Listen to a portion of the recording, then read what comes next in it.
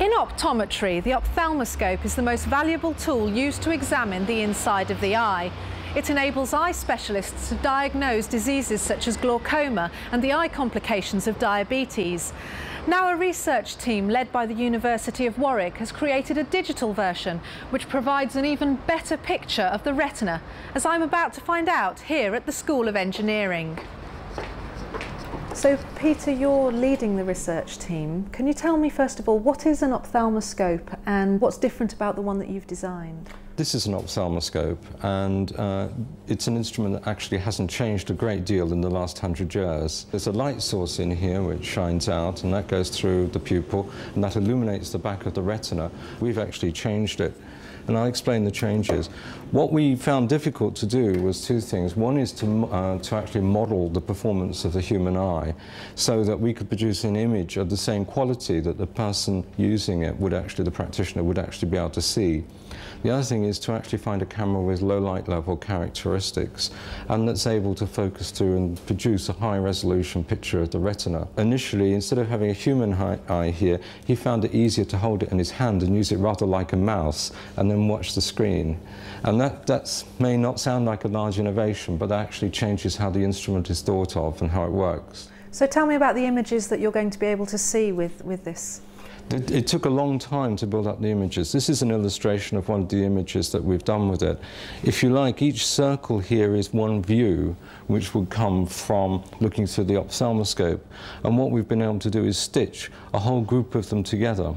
This way we get a very high resolution where we need it, or to see the small features, which is actually how the human eye works. But we can also see right across. So here you're traveling from the optic nerve to the fovea, in fact. When you use this instrument and you move it past your patient, then you build up that view in your mind and that's what you retain. But that's not what you see on the screen. So we're trying to build it up on the screen so that you can uh, see that picture.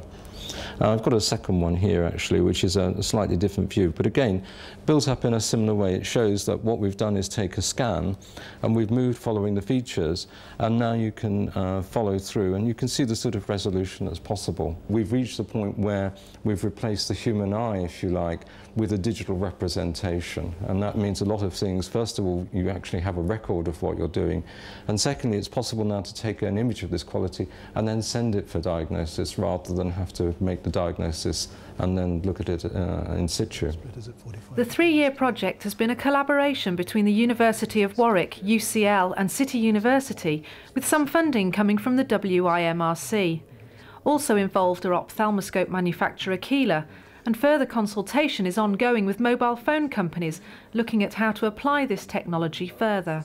We hope this particular arrangement will be about a tenth the cost of a fundus camera but um, we have actually discussed the prospect of making this, merging it into what would be mobile phone technology, in which case it would really drop dramatically in price because the cost of the whole lens system and camera can be as low as £30 in fact. Gary Misson, a consultant eye surgeon at Warwick Hospital, has been working on this search for a high technology solution for several years, and he can clearly see the benefit of having a more versatile instrument. The new digital ophthalmoscope could be used in a variety of places, ranging from accident emergency departments within the hospital to operating theatres. Not even in a hospital, it could be used in a general practitioner's surgery, or it could be used in an optometrist's um, establishment um, during the routine testing of, of, of their eyes. Now, because the digital ophthalmoscope records a digital image, that can then be transmitted to myself or to another um, uh, ophthalmic surgeon um, via the internet or via a wireless link so that we can then interpret the image that's been taken and give advice about, about as, as to how that uh, patient might be treated. This instrument really is primarily a diagnostic instrument and tells us how urgent a problem might be. For example, there are a number of conditions that uh, require fairly rapid diagnosis, such as the complications of diabetes, uh, such as conditions like glaucoma, um, which can all be diagnosed with the digital ophthalmoscope.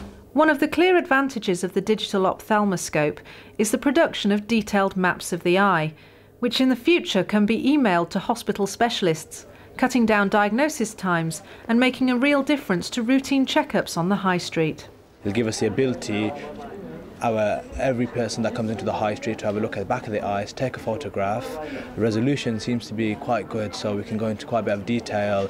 Basic things like diabetic retinopathy or any other aspects of retinal detachment, or if to the degree of somebody may have a tumor or some some growth at the back of the eye, we can maintain a history, a record, something we can visually see, and hopefully as time progresses have the ability to email straight to the ophthalmologist for diagnosis and it gives a lot more versatility and allows us uh, a lot more flexibility in what we do with that information and data really so I think it's fantastic.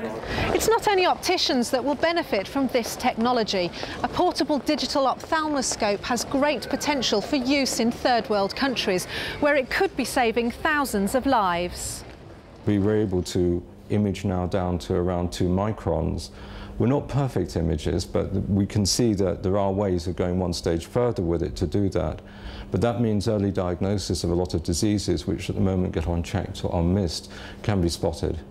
And uh, early diagnosis when uh, there's drug therapy uh, is can uh, hold off a lot of diseases.